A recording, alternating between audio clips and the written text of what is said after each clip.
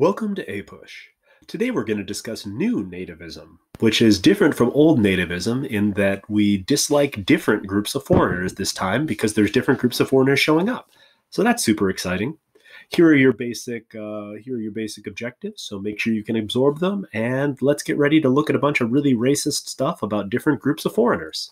So, we get this wave of new immigration in the late Gilded Age. We, of course, hopefully remember that previous sources of immigration had led to consternation in the United States, you know, going all the way back to uh, when Puritan migration was disrupted back in the mid 1600s, leading to uh, chaos, unrest, and, uh, of course, the trial of dangerous witches.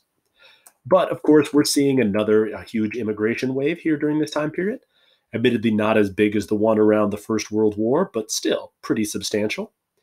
And what we're seeing is these immigrants are coming from different places, whereas previously our immigrants were coming primarily from Ireland and Germany, especially after the whole crisis of the the springtime of the peoples in uh, 1848 and those waves of scary new immigrants are coming in now it's even scarier groups of people for example we see a bunch of people coming in from Southern and Eastern Europe, which obviously problematic, and these terrifying groups of people coming in from not Europe, which, as you know, is going to lead to huge amounts of problems on account of their lack of Europeanness. So let's talk about these different groups and what the responses to them were. Obviously, as you see over time, even within Europe, the movement from Northern and Western Europeans to Southeastern Europeans is going to be pretty stark here, and this is going to be problematic for um, for Americans because Northwestern Europeans tended to be Protestant and uh, and generally British, whereas Southern and Eastern Europeans were often Catholic, and this was very worrisome to people for the same reasons that we were worried about the Catholics coming in uh, during 1848. So, what you start to see are these different immigration waves. And we've talked previously about push factors and pull factors, you know, the Irish potato famine and political unrest in Europe. Well, we're seeing now unrest from the unification of Germany, the unification of Italy, uh, Russification and nationalization in Russia, and the chaos associated with the Opium Wars and the Taiping Rebellion in China. So, all of these are going to lead to new waves of immigrants showing up. And obviously, the pull factor of these groups of people coming in is substantial opportunities in the United States, both, of course, in the West in mining, and then, of course, in urban areas of the North, with the uh, industrial, the second industrial revolution booming and the demand for labor skyrocketing. So, all of this, of course, leads to new nativism, in which uh, we're scared of new groups of native people, but rather than racist caricatures of Irish and German people, we get racist caricatures of Jewish people. Look, look at all these things he's bringing with us. Turns out he's coming here because he doesn't have any money. What a disaster. The irony, of course, of this is as a nation of immigrants arguing that the next group of immigrants is inherently un American and can never assimilate uh, is somewhat problematic. Uh, we'll probably have you break down this uh, political cartoon in class because it's, uh, it's, it's pretty poignant, but the message hopefully is pretty clear. Excuse me.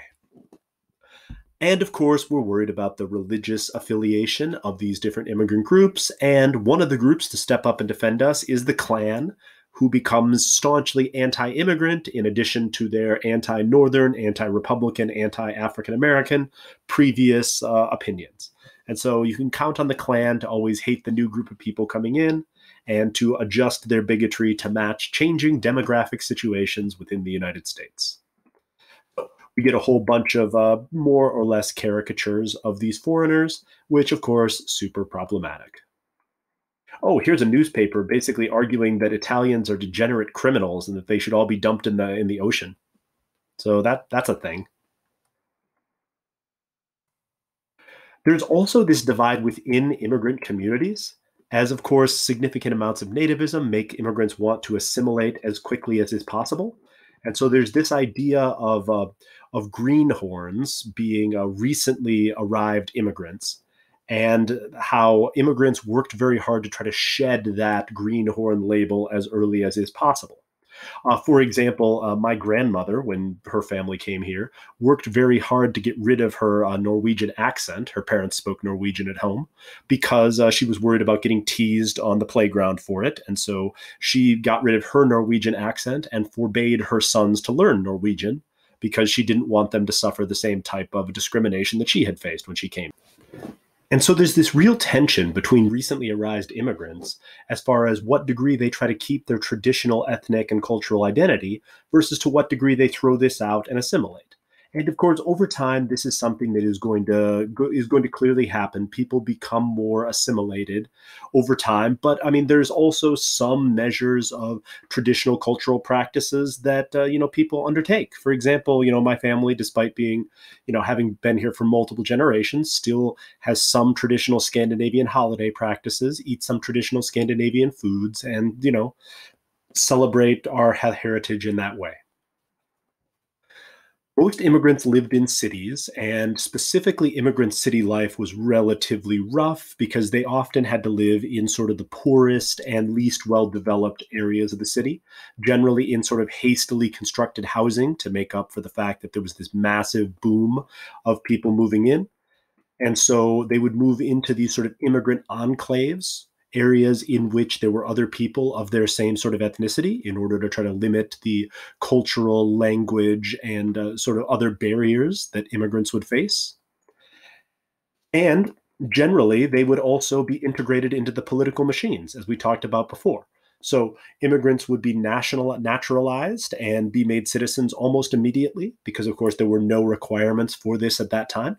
And for political machines, it was, of course, very beneficial to have someone waiting down at the docks when immigrants show up to help them get settled, help them get jobs, help them get registered to vote, because then you can count on that immigrant group showing up for you at the polls and keeping you in power. And so we talked about this when we talked about urban political machines, but it's important to tie this in here and to show sort of how the all of these things are interconnected together. Immigrants also played a huge role on, in, in increasing the infrastructure of the United States, specifically building things like the Brooklyn Bridge. Obviously, these these types of construction prog- projects are very very difficult and super expensive. And so, if you can get low cost immigrant labor to build them, you could cut costs significantly and still increase the uh, the infrastructure and the uh, amenities that these cities have. So we get immigrants working on stuff like that, uh, on on mining, of course, and railroad construction, and spec- and the sewer system in New York City, which we'll talk about in a little bit. Immigrants generally lived in tenement housing, which were very hastily constructed apartments, generally very very small and cramped, with very few amenities. Uh, these these dumbbell tenements were generally packed together and built relatively tall, using new construction techniques uh, and incorporating new materials such as steel. So we start to get cities building upward in order to to uh, compensate for the fact that the population is rising substantially, and obviously you can't get more land within these cities, so you build up. The dumbbell tenement, as we mentioned before, is the standard sort of layout here, and you can see it's really, really small but you do get some private living space. Uh, that fire escapes were eventually added, so that's good. And there's theoretically a public bathroom that you could use on the floor. And so, not the greatest of living uh, conditions, but at least uh, filling fitting people's needs to some degree.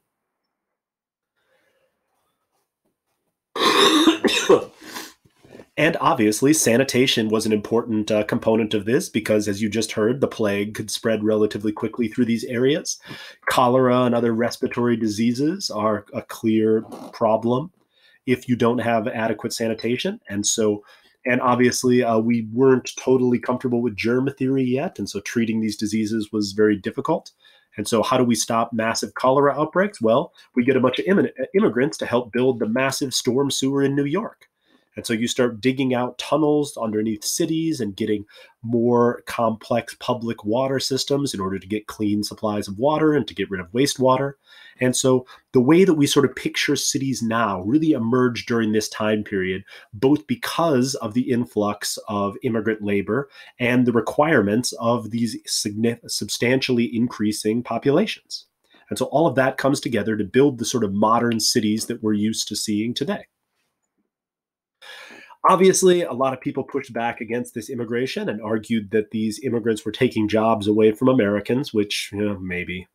But we started to get groups like the Immigration Restriction League who uh, wanted to push back against these new immigrants who could never truly become real Americans. I mean, seriously, can you imagine an Italian people, an Italian person truly becoming American? I mean, they're just so different from like a, a German or a English person. Immigrant processing facilities like Ellis Island usually were uh, somewhat dehumanizing experiences. Of course, Angel Island on the West Coast. Immigrants were screened, often given pseudo scientific intelligence tests, uh, screened for diseases in very, again, unsystematic ways, and sometimes excluded for very questionable reasons. But if you were able to get through, of course, and get processed, you could then become a citizen and have uh, and see and seek out a better life for yourself and your family. So there's balance here to some degree. Except for the Chinese, of course, who were formally excluded first in 1882, then renewed in 1892, and eventually we just decided we're just banning all Asians by the 1820s. Uh, the reasons uh, to, that we pushed back against the Chinese was mostly racism. Well, not mostly racism, exclusively racism. Uh, obviously, the Chinese are Asian as opposed to European, and so a lot of racist stereotypes sort of showed up here. And and then, of course, you had a, a, very large wave of Chinese immigrants coming in as the Qing dynasty began to collapse under the pressure of European imperialism and internal pressure.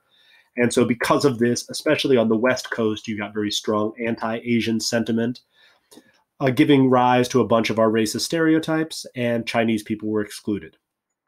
Uh, the interesting thing, or one of the interesting things, at least to me, is that there were a few exceptions for getting around the Chinese Exclusion Act. Uh, and it was mostly taking jobs that white people didn't want to take. And so if you were willing to like open a laundromat or uh, open a restaurant, you were generally allowed in uh, despite the Chinese Exclusion Act. And so, one of the reasons that Chinese food is so ubiquitous in the United States is because one of the ways that Chinese people could get around harsh immigration restrictions was opening restaurants. And then, of course, they took some Chinese cooking techniques and, and uh, foods and flavors and adapted it to American tastes to give us the uh, the Chinese American food that we know and love today. So, uh, I'm not going to say a benefit of the Chinese Exclusion Act. I'm just going to say an effect of it. And then, of course, pseudoscientific nonsense like social Darwinism was used to talk about certain races being superior, other races being inferior, and we should exclude the inferior races. And most, and as always with these racial hierarchies, the whiter you are, the better. And uh, yeah, all of this was used to justify, you know, pretty, pretty racist policies. So that brings us to the end of new nativism. So hopefully you can uh, respond to these things in some detail. And when we come back, we'll finish out our unit with the rise of the Populist Party and the and American politics being re sort of structured again, setting up the stage for the progressive era next unit.